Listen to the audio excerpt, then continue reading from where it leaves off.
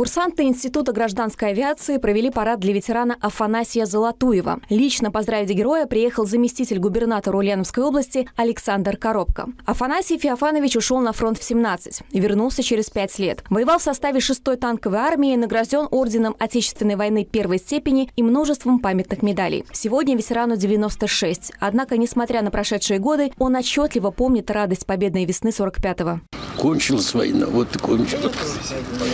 Все, радость была большая, пойти. Стреляли столько, отсюда потерпеть. Музыки, все, все хорошее было. Победа есть победа. Принять участие в первом победном параде бойцу авиации Игорю Фичуку не удалось. Погода внесла свои коррективы. Но в этот день лил дождь и низкая облачность.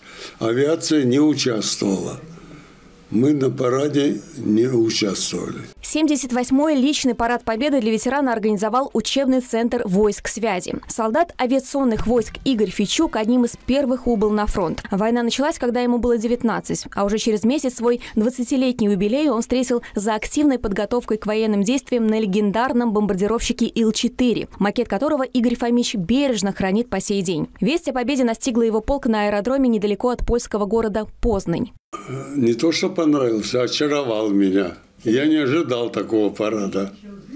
И, по-моему, это чуть ли не, не первый раз в жизни такой парад ради меня.